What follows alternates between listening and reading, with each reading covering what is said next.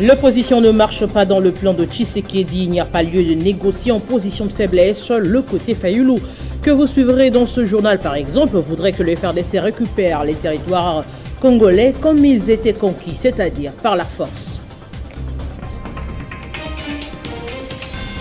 Aimé Boji Songara souhaite que le prochain budget corresponde aux réalités de la population. Il a encore affirmé ce jeudi à l'ouverture du séminaire d'orientation budgétaire exercice 2023. Et en santé, les médecins ne parlent toujours pas le même langage 48 heures après le début de la grève. Le SINAMED que nous avons rencontré hier continue le service minimum, tandis que le CIMECO, lui, travaille comme si de rien n'était. Mesdames, Messieurs, bonsoir et bienvenue dans ce journal. L'opposition rejette en bloc les résolutions de la tripartite d'Angola et en débouché sur une désescalade et la relance de la commission mixte RDC-Rwanda pour la coalition Lamoukia. L'approche euh, coercitive vis-à-vis du Rwanda reste l'option idéale. On écoute Prince Epeng, porte-parole de la Mouka. Pour la Mouka, la nouvelle rencontre entre M. Félix Chilombo et Paul Kagame est un sommet de trop.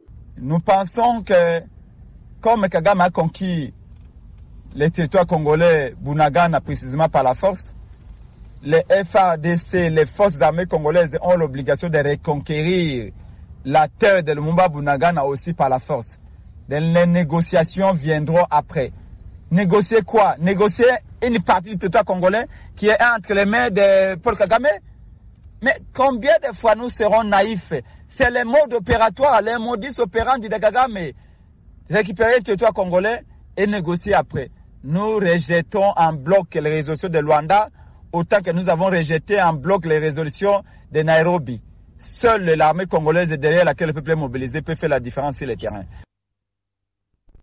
Et puis le ministre d'État en charge du budget, mais Boji, a procédé ce jeudi à l'ouverture du séminaire d'orientation budgétaire de l'exercice 2023 sur le cadre budgétaire à moyen terme 2023-2025. Ces assises visent l'amélioration du processus budgétaire en vue de relever les défis du développement de la RDC. Christian Calongi.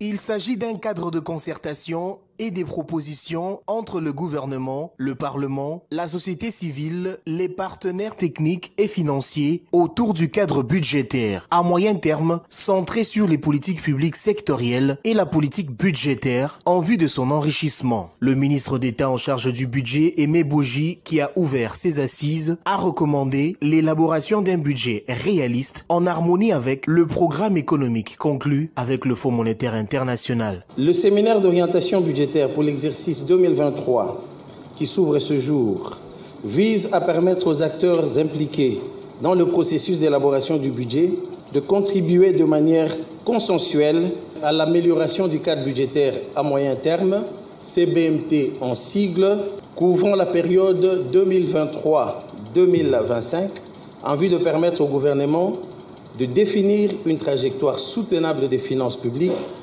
pour la réalisation de son programme d'action. Point n'est besoin de rappeler que le gouvernement de la République, sous l'impulsion de son Excellence, M. Félix Antoine Tshisekedi Chilombo, président de la République, chef de l'État, envisage d'atteindre en moyenne un niveau minimum des budgets annuels de l'équivalent en francs congolais de 12 milliards de dollars américains. Le gestionnaire du budget congolais a par ailleurs invité les séminaristes à ne ménager aucun effort tout au long de ces consultations pré-budgétaires pour produire un travail de qualité susceptible d'améliorer le niveau des recettes et des dépenses projetées en vue de doter le pays d'un cadre budgétaire à moyen terme solide. Toujours dans l'actualité, lancement ce jeudi par la ville de Kinshasa de l'opération d'identification des étrangers à travers la délivrance d'une carte de résidence supervisée par la commission provinciale. Ce projet s'effectue grâce au recours au partenariat public-privé avec la société Smart Security Service SRL.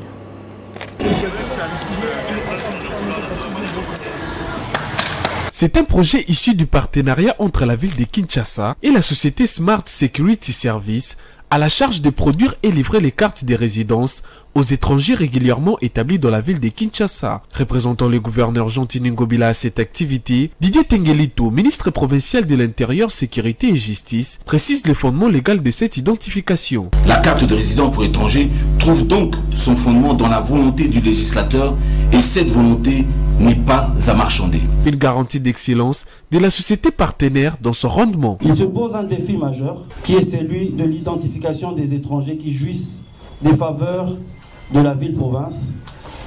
C'est donc dans ce cadre qu'un partenariat a vu le jour il y a quelques mois entre la ville de Kinshasa et la société Smart Security Services qui se fait le devoir de mettre à contribution de toute son expertise et son professionnalisme avec des méthodes et procédés les plus conformes et à la pointe de la technologie.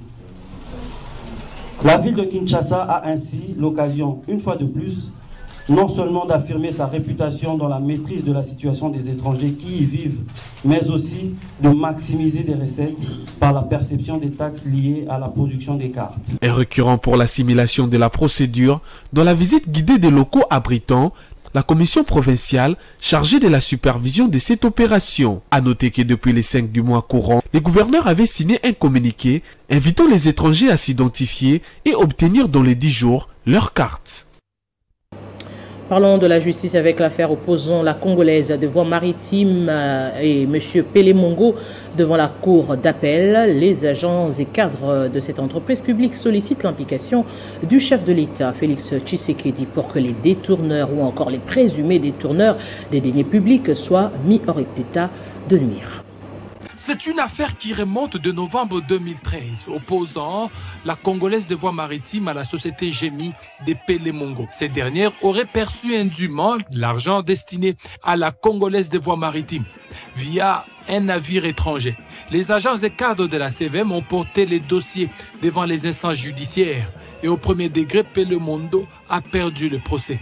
Ce qui a fait que l'affaire soit transmise à la cour d'appel de Kinshasa Matete. Ici sur place, les avocats de la CVM ont sollicité une remise pour que l'affaire soit mise à l'état. La composition n'est pas la même que celle qui était à Matadi et même que celle qui a connu euh, cette affaire il y a quelques mois. Et elle a traité le dossier avec beaucoup de, maîtrise, beaucoup de, professionnalisme, hein. parce que la, la CVM a sollicité par notre bouche une remise pour que l'affaire soit mise en état, malgré l'opposition de la partie adverse. Les syndicalistes de la CVM ne comptent pas s'arrêter là. Ils sollicitent l'implication personnelle du chef de l'État, Félix Tshisekedi. Au jour d'aujourd'hui, la CVM détient un outil de travail très important, la drague euh, Béton. Si on n'avait pas le soutien du président de la République pour pouvoir avoir cet, euh, cet outil important, nous ne savons pas ce que non seulement la RVM serait devenue, mais c'est que la République serait devenue aussi. Tous comme un seul homme, ces agents et cadres des Congolaises de voies maritimes demandent à ce que justice soit faite pour mettre hors d'état de nuire tous les prédateurs qui cherchent à mettre à genoux l'entreprise. Le programme d'appui pour le développement des micro, petites et moyennes entreprises en collaboration avec Silicon Village a lancé officiellement le projet de création des centres petites et moyennes entreprises baptisé en Swahili Kazi. Objectif, créer des véritables mini-zones économiques de nature à impulser la croissance des PME. Le programme cible actuellement quatre villes de la République démocratique du Congo, dont Kinshasa, Matadi, Lubumbashi et Goma. Cette ouverture de centres petites et moyennes entreprises s'inscrit dans le cadre du partenariat entre le projet CASI et Silicon Village, initiative du groupe Texaf ayant pour but d'accueillir le premier centre de PME CASI de Kinshasa avec comme spécialité le numérique. Appuyé financièrement à hauteur de 100 millions de dollars américains par le gouvernement congolais et la Banque mondiale, le projet CASI, qui signifie travail en Swahili, l'une des quatre langues nationales congolaises, envisage provoquer via les investissements investisseurs et promoteurs privés, la création et la multiplication des centres de PME à travers toute la République démocratique du Congo. Pour les directeurs de cabinet représentant Eustache Mouandi, ce projet traduit la détermination de l'État congolais à créer des nouveaux millionnaires. Ça, c'est un facteur d'accélération pour ces genres d'aide, en fait, de, de soutenir nos PME. Souvent confronté à plusieurs problèmes dans l'espace, le financement et l'équipement, le projet des centres de PME offre de nombreux avantages aux entrepreneurs congolais. Le projet Centre de PME est un projet qui offre aux PME congolaises un espace de mutualisation économique.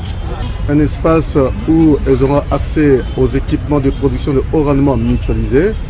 Un espace où peuvent installer leurs usines et ils peuvent également bénéficier de la protection fiscale. Un espace d'émulation qui leur permet d'être compétitives au niveau tant local, national qu'international. Trois panels composés des entrepreneurs, des responsables des Silicon Village et des décideurs ont eu lieu au cours de cette activité. Revenons sur la grève de médecins pour s'assurer de son effectivité. Ce jeudi, nos reporters ont visité quelques hôpitaux de la capitale congolaise. Si, du côté Sinamed, le mot d'ordre a été respecté, ceci n'a pas été le cas côté Simeco. Toutes les activités ont tourné comme d'habitude. Jenny Kaimbe, Fiston Winnie était sur terrain. Pas d'hôpitaux sans médecins, telle est la mesure du corps médical membre du syndicat des médecins du Congo.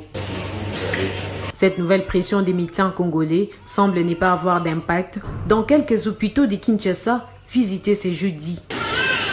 À l'hôpital général des références de Kintambo, les activités tournent comme d'habitude et la maternité se porte bien. Ce qui justifie la non-réponse du CIMECO de l'appel à la grève. Nous ne sommes pas en grève parce que le mot d'ordre de notre chef de Sineco nous demande encore de continuer à travailler au sein de nos services.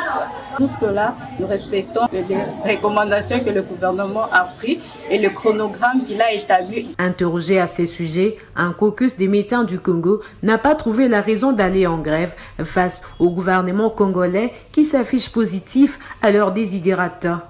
Il y a un accord qui a été signé Parmi les accords-là, il y en a quelques-uns que le gouvernement a déjà mis en application. Nous gardons l'espoir que ça va aller là. Le gouvernement manifeste quand même la volonté de répondre à nos revendications. Voilà. C'est pourquoi nous continuons de négocier et travailler en attendant la population de l'Assemblée générale tenue dans nos différentes bases. Côté Sinamed, les hommes en blouse blanche ne jurent que sur le respect total. Nous avons suspendu tout ce qui est consultation externe. De pour le moment, on ne s'occupe que des malades hospitalisés. Les médecins, à travers le bon syndical, s'inscrivent dans l'esprit de la mise en œuvre des accords signés par le chef de l'État, Félix Antoine Tshisekedi Chilombo, entre leurs représentants et les gouvernements. Parlons des questions électorales. Le mouvement social pour le renouveau MSR salue la promulgation de la nouvelle loi électorale par le chef de l'État, Félix Tshisekedi, le 29 juin dernier. Une loi qui permet aux partis politiques de préparer la réforme dans le temps. À cette occasion, le secrétaire général ad interim, Chrysostome Va Mouiti, appelle son parti politique à compétir pour rafler au moins plus de 60% des sièges au niveau national et provincial. Une réforme se prépare dans le temps Qu'est-ce que nous projetons pour les réformes de 2028 Parce que euh, c'est plus de 50 recommandations euh, qui ont été formulées après l'évaluation du processus électoral qui a culminé en 2018. Nous pensons que il y a certaines recommandations qui nécessitent beaucoup de réflexion et qui peuvent commencer dès maintenant. La CENI est actuellement euh, dans l'opération de l'actualisation de la cartographie électorale. Et c'est un moment, en notre sens, pour réfléchir aussi sur la réalité des circonscriptions électorales à plus de sièges. À mon avis, il faut redimensionner euh, les circonscriptions électorales euh, à plus de sièges pour qu'on aille progressivement vers le rapprochement des électeurs et des élus pour vouloir dire que notre pays, la République démocratique du Congo, devrait aller vers des circonscriptions électorales à un siège. Et, cela peut déjà démarrer avec la cartographie euh, actuelle que mène la CENI euh, pour culminer dans les réformes électorales de 2018. Ça nous permet de préparer cette grande réforme dans le temps.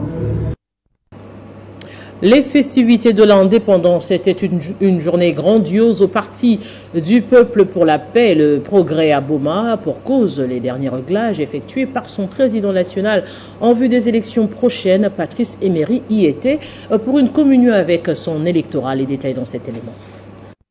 Accueilli en vrai leader, Emery Patrice Landou va à la rencontre de sa base. Les festivités de l'indépendance de la RDC, il n'a pas voulu les passer comme tout autre jour. Le président national du Parti du Peuple pour la paix et le progrès va procéder à l'installation des membres de la coordination urbaine et de trois communes politiques de Boma avant son grand oral donnant sa vision pour les échéances à venir. Il s'agit des communes d'Enzadi, Kalamou et Les heureux promus sont salués par la masse venue assister à l'activité.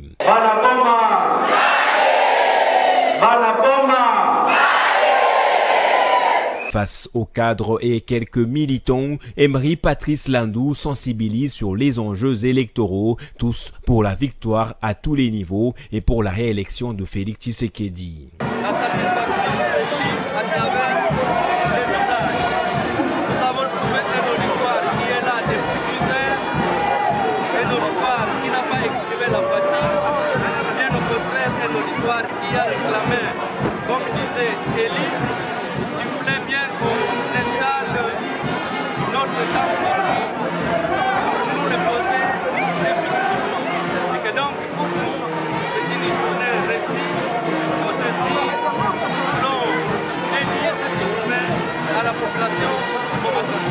Cette activité était aussi une occasion pour le président national de rappeler aux membres les deux fondamentaux de son action, repris également dans la devise du parti, Dieu et la patrie.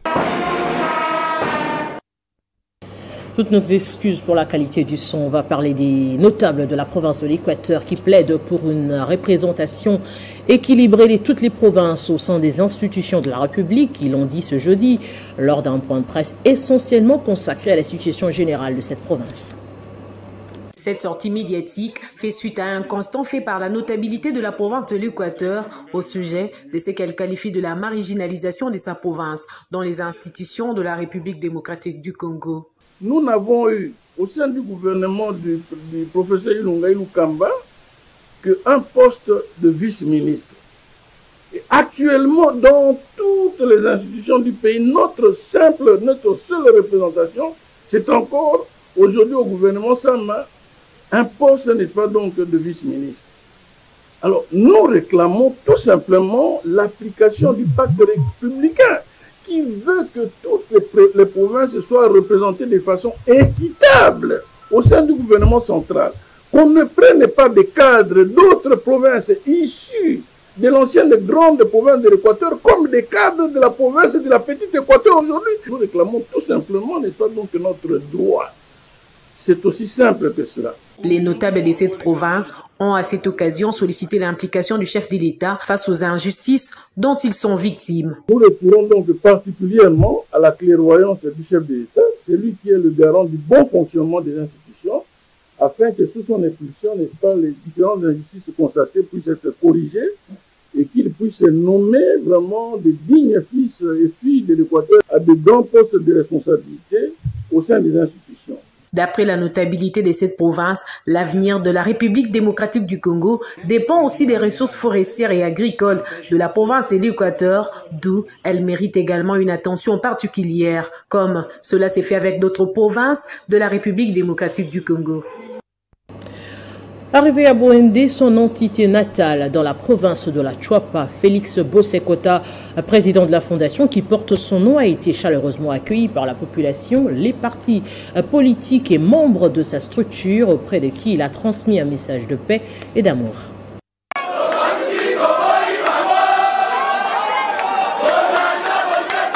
C'est un accueil sans précédent réservé à Félix Bossekota, opérateur économique et vice-président de la Fédération des entreprises du Congo Grand Équateur, à son arrivée à Bouendé, chef-lieu de la province de la Chuapa. Mobilisé, la population de ce coin, le parti politique ainsi que les membres de la fondation qui porte son nom n'ont pas manqué à l'appel. Je suis venu voir mes frères, je les aime beaucoup. Je suis venu voir comment ils vivent. Je suis né ici et grandi ici. Ma première action, c'est la prière, confier Bwende entre les mains de l'Éternel. C'est moi qui ai introduit la radio et la télévision à la Chuapa. Pour soutenir le chef de l'État, il faut des actions. Il parle de l'agriculture, moi je l'ai commencé depuis à Bwende jusqu'à l'intérieur. Le rôle de la fondation Bosekota est d'aider la population. Fondation Félix Bosekota Créée en 2006, la Fondation Bosekota, la première à exister dans cette province, œuvre dans l'encadrement des paysans pour le développement du Congo en mettant à la disposition des paysans des matériels et engins agricoles, notamment ou machettes, arrosoirs et semences le bateau gratuit pour faciliter les déplacements de la population, des actions concrètes pour soutenir la vision du chef de l'État Félix Antoine Tshisekedi. La ville de Bukavu sera privée d'eau potable d'ici quelques jours en cause la parcelle de la Régie des eaux à travers laquelle se situe le centre de traitement et station de répompage d'eau potable vient d'être spoliée par des personnes non encore identifiées qui ont borné toute la concession à son insu dans une sortie médiatique. Les agents de la Régie des eaux montent au créneau et sollicitent l'implication personnelle du gouverneur Théongwa Bidje. Située à Karale, dans la commune de Kadoutou, cette parcelle appartient à la régie des eaux Bukavu depuis 1969, mais il y a quelques jours, la régie des eaux a été surprise au devoir une dizaine de personnes qui seraient agents du parquet venir borner cet espace à son insu. Cet terrain héberge en son sein les réservoirs de traitement et sert des stations de répompage d'eau potable. Cette spoliation à ciel ouvert au risque de favoriser les manques d'eau dans la ville de Bukavu, en ce sens que plusieurs chambres des réservoirs sont attaquées.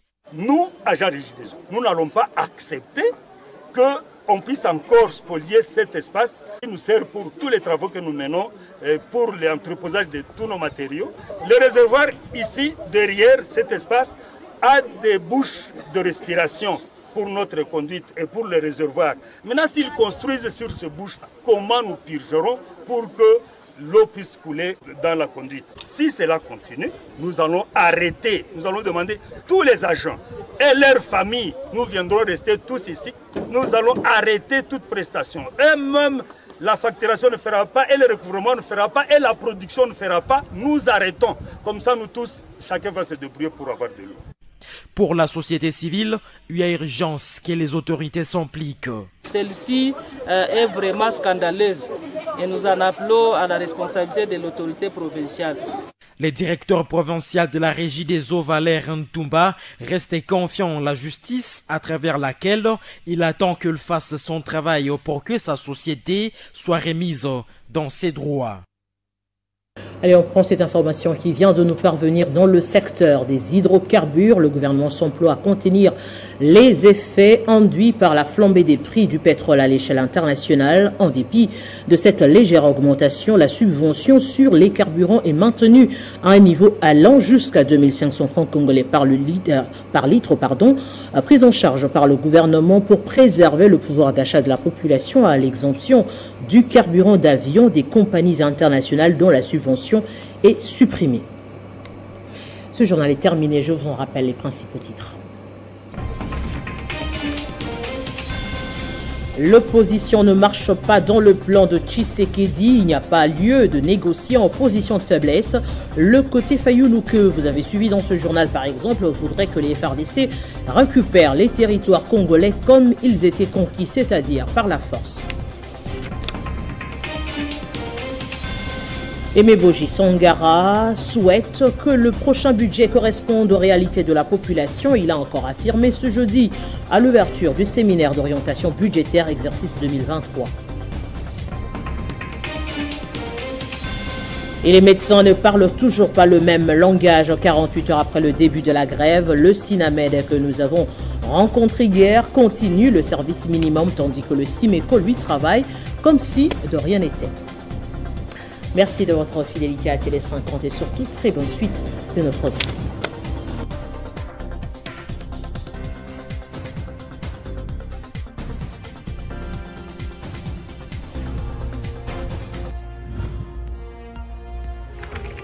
L'actualité reste incontinue.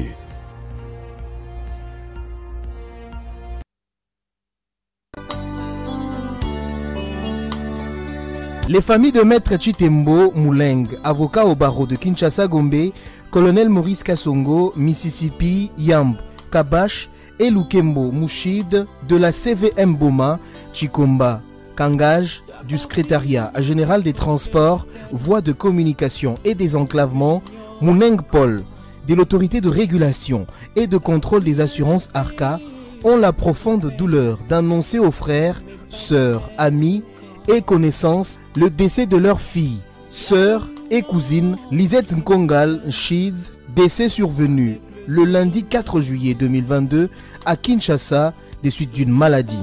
Le programme des obsèques se présente comme suit vendredi 8 juillet 2022, veillée mortuaire à partir de 18h en la salle VIP de la maison Kofi située sur l'avenue Malembankulu, quartier Sosimat, commune de La Gombe. Samedi 9 juillet 2022, levé du corps suivi de son exposition à l'hôpital du cinquantenaire à partir de 11h30.